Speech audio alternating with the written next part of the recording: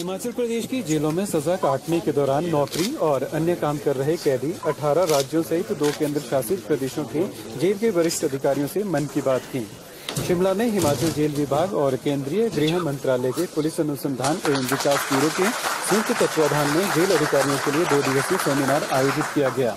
समापन अवसर पर मुख्यमंत्री जयराम ठाकुर मुख्य अतिथि के रूप में पहुँचे। डीजीपी जेल सोनमेश गोयल ने कहा कि प्रदेश के 80 फ़ीसदी कैदी अनपढ़ से बारहवीं पास हैं और उनकी उम्र भी 18 से लेकर 50 साल के बीच है। 2016 तक अट्ठावन हज़ार कैदियों को स्किल डेवलपमेंट दिया गया है और 9000 कैदियों को कंप्यूटर की शिक्षा दी गई। कैदियों के पुनर्वास के लिए कोई नीति निर्धारित नहीं है। चालीस गुना कमाई के साधन पिछले छह से सात सालों में प्रदेश के कैदियों के लिए बढ़ाए गए हैं। वहीं सोमेश गोयल ने शिमला बुक कैफ़े को निजी हाथों में न देने की मांग भी मुख्यमंत्री जयराम से की, ताकि इसकी पहचान पहले की तरह ही बरकरार रहे। इस दौरान जेल विभाग की कॉफ़ी टेबल बुक का विमोचन भी किया गया। मुख्यमंत्री जयराम ठाकुर ने कहा कि प्रदेश का जेल विभाग डीजी सुमेश गोयल के नेतृत्व में कैदियों के पुनर्स्थापन के लिए स्थानीय काम कर रहा है। कैदी भी समाज का हिस्सा है, जो अधिकार आम आदमी के हैं, वही अधिकार कैदियों के भी हैं। कैदी जिस वजह से भी जेल है, जेल में है, उसका कैदी को भी एहसास होगा। ऐसी परिस्थिति में कैदियों को ज़िंदगी जीने का एक मौका दिया जाना चाहिए।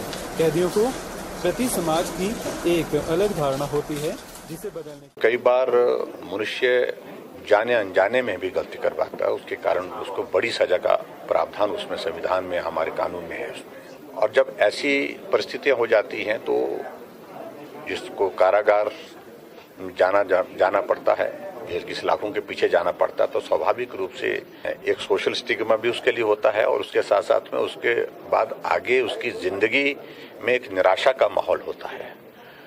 और मैं बधाई देना चाहता हूँ हमारे पुलिस विभाग को पर्टिकुलरली जो हमारे डीजीपी प्रिजेंस हैं। एक बहुत ही बेहतरीन एक कोशिश उनको फिर से ज़िंदगी जीने का जो अधिकार है उसके तहत मानवीय दृष्टिकोण के साथ रिहेबिलिटेट करने के लिए अलग अलग चीज़ों के साथ जोड़ करके ट्रेनिंग दे करके और उसमें बेहतर ढंग से वो काम कर सकें। परिवार के लिए भी आय का सोर्स बन सके और उसके साथ साथ में उस जेल के लिए भी वो आय का सोर्स बन, बन, बन सके। और ऐसी परिस्थिति में मुझे मुझे ये कहना है कि बहुत ही एक बेहतरीन कोशिश जो है वो पुलिस डिपार्टमेंट की ओर से इसमें जेल में उन कैदियों के सुधार की दृष्टि से जो हुई है। और मैं देख रहा हूँ कि बहुत ही अच्छे प्रोडक्ट्स उनने अपने हाथों से बना करके तैयार किए हैं जो किसी भी प्रोफेशनल जो स्किल्ड जो हमारे लोग होते हैं उनसे कम नहीं है उनसे बेहतर है। आ, मैं समझता हूँ इस सारे मामले को लेकर हम एग्जामिन करेंगे। मैं भी इस बात इस बात से सहमत हूँ कि उसको उस तरह से उस नज़रिए से देखने की आवश्यकता नहीं है।